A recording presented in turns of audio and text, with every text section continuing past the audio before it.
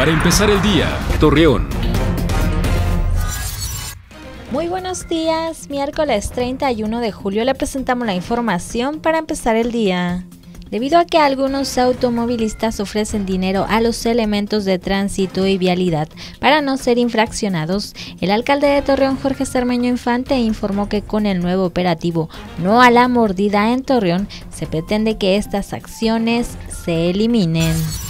Sergio Salas, delegado regional de programas del bienestar social de Gómez Palacio, indicó que a inicios del mes de agosto se entregarán las pensiones de 68 y más, por lo que pide a los ciudadanos acudir en las fechas que se les establecieron para evitar confusiones luego de que algunos turistas solicitaran que se ampliara el horario del teleférico de Torreón, la directora Verónica Soto Díaz dio a conocer que los horarios serán de 11 de la mañana a 9 de la noche, de martes a domingo, con la finalidad de que los visitantes tengan la oportunidad de disfrutar de este atractivo turístico aéreo.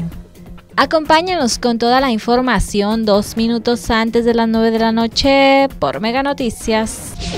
Para empezar el día, Torreón.